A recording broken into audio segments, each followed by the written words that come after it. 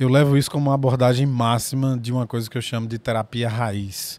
O que, é que seria a terapia raiz? É aquela lógica da capacidade de você encontrar com alguém que se transforma em teu interlocutor e consegue arrancar de você a sua melhor versão e nem sempre isso é prazeroso, muitas vezes pode ser doloroso.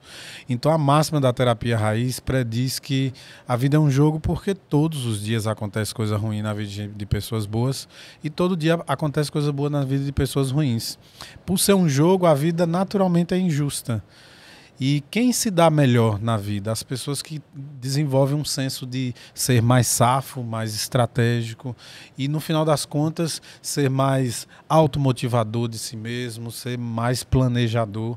E, no fundo, a gente falaria 10 características aqui que hoje são conhecidas como características empreendedoras. São pessoas que respeitam, de certo modo, a regra do jogo, mas conseguem ter o um nível de perpicácia suficiente para prosperar na vida em todos os aspectos, não é? Prosperar para ser uma pessoa rica no bolso e pobre na cabeça.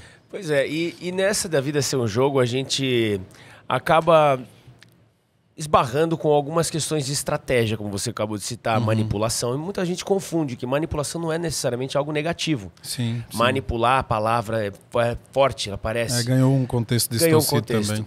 É, você entende que a manipulação é, precisa ser mais, uh, acho que explicada popularmente para que as pessoas entendam como manipular, até mesmo para cuidar do filho uhum. que vai se machucar e você não quer que ele se machuque, não dá para falar simplesmente Sim. não se machuque. Sim.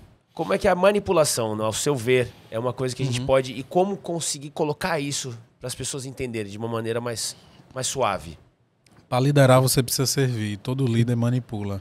Às vezes a manipulação vem pela servidão pela ideia de se dedicar ao outro e quando você percebe que você tem poder sobre o outro, muitas vezes você pode também provocar nele reações manipuladas, mas com o intuito de fazer com que ele cresça. Então, a manipulação é uma ferramenta. Usá-la é, de forma negativa, fazendo com que o outro, de certo modo, é, seja conduzido para cair em um buraco ou seja conduzido para subir uma montanha, vai depender do olhar e da necessidade da pessoa que é capaz de liderar e fazer com que as pessoas o acompanhem. Então Você... sempre fica o senso do livre-arbítrio, né? Tem pessoas que naturalmente adquirem a capacidade de, de manipular mas também ao mesmo tempo tem um ímpeto de algum modo, apesar das pessoas olharem e ver características robustas de, de que é um sujeito que não se deixa abater por qualquer coisa, não, não se submete e baixa a cabeça com qualquer coisa, mas está imbuído de um bom de um Uma bom boa índole também, né? Sim, sim. Por exemplo, eu costumo dizer os vilões jogam, é, jogam, jogam. Os super-heróis também jogam, jogam. Qual a diferença? O interesse de cada um no jogo. Né? De fato. De fato. Isso é uma coisa que, assim, é, quando a gente fala de, de índole, né? Você fala tem, tem pessoas do bem, tem pessoas do mal, isso a gente lida a, to, a todo instante. É, quando a gente fala de sociedades, você é um cara extremamente estudado. Aliás, que currículo, né? Que eu, eu a, avaliando ali o seu currículo, né? Assim, estou diante de uma pessoa realmente muito bacana. Você fez na Holanda. Fizemos é... uma imersão lá, né? Para para conhecer um pouco mais do trabalho sobre neurofeedback, que é um tipo de neuromodulação. Depois tivemos a honra de estudar com o Dr. Antônio Martins Mourão, que é um português que vive em Londres há, há mais de 30 anos.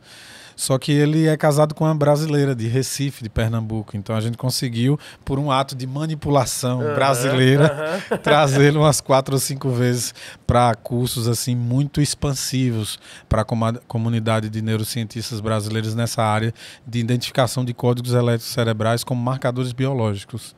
Então, para você ver, né, muitas vezes o discurso da manipulação tem a ver com uma negociação muito bem feita, com a, a persuasão. persuasão ela, ela está, de algum modo, dentro do processo que poderia ser chamado, a grosso modo, e até distorcido como uma manipulação, como um contexto maléfico, ou, enfim, mal interpretado, mas de fato, sem esse contexto de você influenciar pessoas, dificilmente você chega a um resultado, seja uma pessoa comum que está numa sociedade quase que uma aldeia, ou alguém que é um digital influencer que está falando para milhões de pessoas.